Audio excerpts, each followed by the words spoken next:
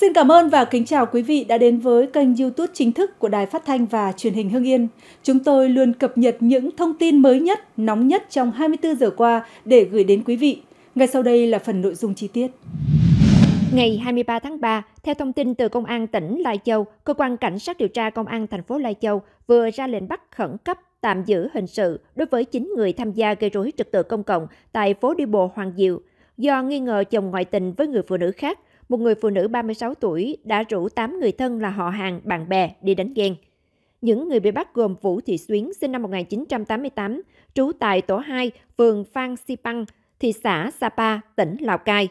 Vũ Thị Xuân, sinh năm 1986, Nguyễn Văn Linh, sinh năm 1988, Nguyễn Thái Thành, sinh năm 1992, Nguyễn Đức Mạnh, sinh năm 1995, Nguyễn Thái Thịnh, sinh năm 1968, cùng trú tại phường Phan Xipang, thị xã Sapa, Lê Thái Học, sinh năm 1996, trú tại tổ 11, phường Lào Cai, thành phố Lào Cai, Đỗ Anh Tuấn, sinh năm 1994, trú tại xã Vĩnh Kiên, huyện Yên Bình, tỉnh Yên Bái, Nguyễn Trung Hiếu, sinh năm 1986.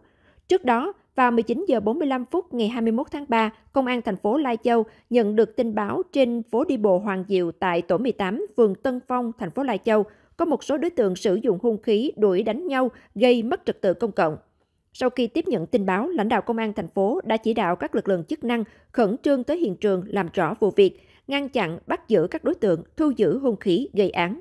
Công an xác định ngày 21 tháng 3, Vũ Thị Xuyến nghi ngờ chồng là anh HHP đến thành phố Lai Châu để quan hệ tình ái với NTH sinh năm 1984 ở tại tổ 18, phường Tông Phong, thành phố Lai Châu. Xuyến cùng 8 người có quan hệ họ hàng, bạn bè, đi hai xe ô tô đến thành phố Lai Châu tìm anh P để nói chuyện. Nhóm của Xuyến đến khu vực nhà H thấy P đang ăn cơm cùng hai con của H, Trong khi Xuyến to tiếng với anh P, thì Phạm Thị Ngọc Yến, em dâu của Hát, sinh năm 1985, ở tại tổ 18, phường Tân Phong đến. Tại đây, Xuyến và Yến cãi nhau, sau đó Yến gọi thêm chồng là Nguyễn Trung Hiếu, sinh năm 1986, đến hỗ trợ. Hiếu cùng em họ là Đỗ Anh Tuấn, sinh năm 1994, ở xã Vĩnh Kiên, huyện Yên Bình, tỉnh Yên Bái cùng đến trợ giúp Yến. Trong lúc lời qua tiếng lại, Hiếu đấm Lê Thái Học. Thấy vậy, bảy người trong nhóm xuyến dùng ghế nhựa và một số vật cứng lao vào đánh Hiếu ngã ra đường, bị thương nhiều vị trí. Lúc này, Tuấn chạy về nhà Hiếu lấy một chiếc búa đinh và con dao dài 60cm quay lại, dùng sống dao đánh vào lưng Lê Thái Học, sau đó Tuấn đưa chiếc búa sắt cho Hiếu đuổi đánh Thành và Linh. Sự việc làm náo loạn khu phố. Do có nhiều người can ngăn và thấy có lực lượng công an đến, nhóm hỗn chiến đã tự giải tán. Hiếu và ba người trong nhóm xuyến là Học, Thành, Linh bị thương tích nhẹ vùng lưng, chân, tay, đầu. Hiếu về nhà cố thủ, đến sáng 22 tháng 3 mới mở cửa, chấp hành theo yêu cầu đến trụ sở công an làm việc, giao nộp hung khí. Đỗ Anh Tuấn cũng bỏ trốn, nhưng hôm sau đã đến công an thành phố Lào Cai trình diện. Mới đây, cơ quan cảnh sát điều tra công an thành phố Biên Hòa Đồng Nai xác nhận đơn vị đang tạm giữ hình sự đối với Phạm Thanh Sơn, 48 tuổi, ngụ phường Bửu Hòa, thành phố Biên Hòa để điều tra về hành vi cố ý gây thương tích. Theo cơ quan cảnh sát điều tra tối 20 tháng 3, sau khi đi nhậu rồi về nhà tại phường Bửu Hòa, Phạm Thanh Sơn và chị NTMT, 41 tuổi, đang sống với Sơn như vợ chồng xảy ra mâu thuẫn. Lúc này, Sơn lấy dao chém khiến chị T và cháu PA 13 tuổi, con gái chị T, bị thương. Sau đó, Sơn còn đập phá một số tài sản khác của mẹ con chị T. Hậu quả, chị NTMT bị một vết xước nhẹ trên đầu, con gái 13 tuổi bị nhiều vết thương vùng mặt, đầu. Ngay sau khi xảy ra vụ việc, cháu gái được nhanh chóng đưa đi cấp cứu tại cơ sở y tế gần nhất, sau đó được chuyển lên Bệnh viện Di đồng Đồng Nai, tiếp tục điều trị trong tình trạng chảy máu nhiều ở phần đầu, có vết thương ở vùng đầu, mặt. Tại bệnh viện, các bác sĩ xác định cháu gái bị một vết thương vùng đầu bên phải dài 7cm, vết thương trước tai bên phải dài 5cm, vết thương trên cung mày dài 2cm, ngoài ra còn một vết thương nhỏ khác ở mép trái. Bệnh nhân được khâu vết thương, chích ngừa uống ván, chụp CT và dùng kháng sinh, thuốc giảm đau. Hiện sức khỏe của bệnh nhân đang ổn, tiếp xúc tốt. Liên quan vụ việc trên, lực lượng chức năng thành phố Biên Hòa đang tạm giữ Sơn, đồng thời tiếp tục giám định thương tích của chị T và cháu PA để phục vụ công tác điều tra. Trước đó tại Hà Tĩnh, xảy ra vụ án nam thanh niên đâm trọng thương hai mẹ con người yêu, phóng hỏa đốt nhà rồi bỏ trốn. Cụ thể, sáng 24 tháng 2 năm 2024, Bùi Hoài Nam, sinh năm 1993, ngụ xã Trung Lộc, huyện Can Lộc đi xe máy đến nhà bạn gái NTL, sinh năm 1998, xã Thượng Lộc, huyện Can Lộc để nói chuyện tình cảm. Tại đây, Nam và chị L xảy ra mâu thuẫn, cãi vã. Sau khi lời qua tiếng lại, Nam dùng kéo đâm trọng thương chị L và mẹ chị L. Gây án xong, Nam dùng xăng đã chuẩn bị sẵn, phóng hỏa, đốt nhà chị L, rồi bỏ trốn khỏi hiện trường. Phát hiện sự việc, người dân đã đưa hai mẹ con chị L đi cấp cứu, đồng thời hỗ trợ dập lửa. Tuy nhiên do nhà chứa nhiều đồ đạc dễ cháy nên chỉ trong ít phút đám cháy bùng phát dữ dội. Cùng ngày, lực lượng chức năng đã bắt được Bùi Hoài Nam khi đang lẫn trốn tại trang trại ở xã Thượng Lộc, huyện Can Lộc. Vừa qua, trước thông tin cho rằng bà Nguyễn Thị Giang Hương, Chủ tịch Ủy ban Nhân dân huyện Nhân Trạch, tỉnh Đồng Nai, bị nhóm lừa đảo trên mạng chiếm đoạt hơn 100 tỷ đồng, bà Nguyễn Thị Giang Hương không xác nhận bị lừa đảo số tiền nêu trên và cho biết sự việc đang được cơ quan chức năng điều tra. Bà Hương nói, vụ việc được công an tỉnh đang làm lâu rồi, số tiền bị mất không biết được, công an đang kiểm tra. Cũng liên quan đến vụ việc trên, chánh văn phòng Ủy ban Nhân dân tỉnh Đồng Nai cho biết, lực lượng chức năng đang chờ báo cáo của công an tỉnh.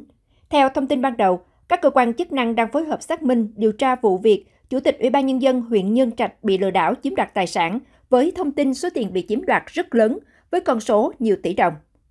Theo đó, một số đối tượng yêu cầu bà Nguyễn Thị Giang Hương, Chủ tịch Ủy ban Nhân dân huyện Nhân Trạch mở tài khoản để huy động người thân nộp tiền vào tài khoản. Sau đó, nhóm đối tượng này dùng thủ đoạn chiếm đoạt từ tài khoản của bà Hương mỗi lần vài chục tỷ đồng, tổng cộng khoảng 100 tỷ đồng. Hiện bà Hương không cung cấp thông tin về vụ việc đang được cơ quan công an điều tra làm rõ. Bà Nguyễn Thị Giang Hương giữ chức vụ Chủ tịch Ủy ban Nhân dân huyện Nhân Trạch, nhiệm kỳ 2020-2025. Mới đây, lãnh đạo một đơn vị thuộc lực lượng chức năng tỉnh Quảng Ninh cho biết, lãnh đạo Phòng Cảnh sát Giao thông Công an tỉnh Quảng Ninh vừa ký quyết định xử phạt vi phạm hành chính 13,5 triệu đồng đối với chủ xe limousine chạy dù bị nữ hành khách tố có hành vi hành hung.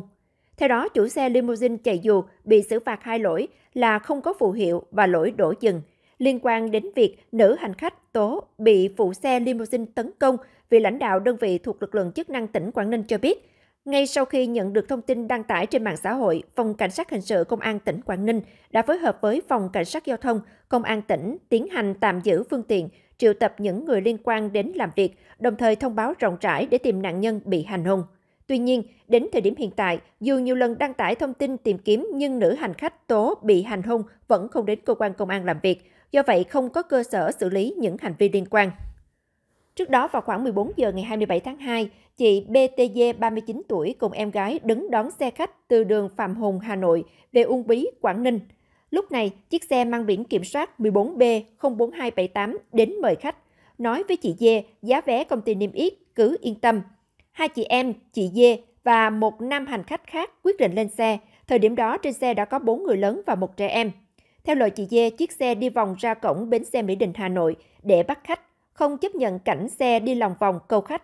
Có hai mẹ con là hành khách yêu cầu xuống xe để bắt phương tiện khác, nhưng nhà xe không đồng ý, quát mắng khách. Họ bật nhạc to để không nghe chị khách nói. Khách phàn nàn nhạc to gây đau đầu thì nhà xe phớt lờ, phụ xe còn quay lại văn tục chửi bới khách, chị Dê kể. Khi đến đầu cao tốc đoạn huyện Đông Anh, Hà Nội, hướng tỉnh Bắc Ninh, phụ xe bắt đầu thu tiền vé đi Hải Dương 300.000 đồng một người, Bắc Ninh 200.000 đồng một người, Móng Cái 500.000 đồng một người, Uông Bí 400.000 đồng một người.